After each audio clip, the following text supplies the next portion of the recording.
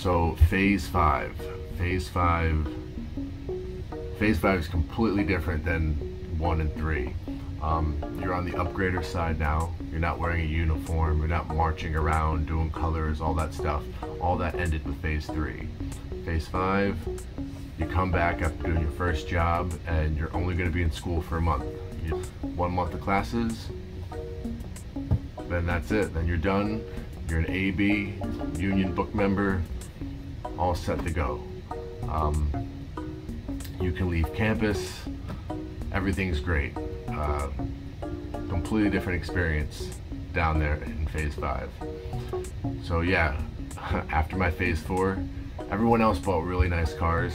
Um, you go down there, everyone has these super expensive cars that they shouldn't have bought. But my dumbass, I bought a rickety van that it was gonna live in.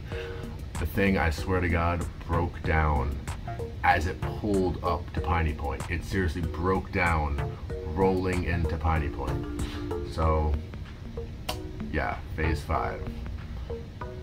No commentary, just the montage. Good old phase five.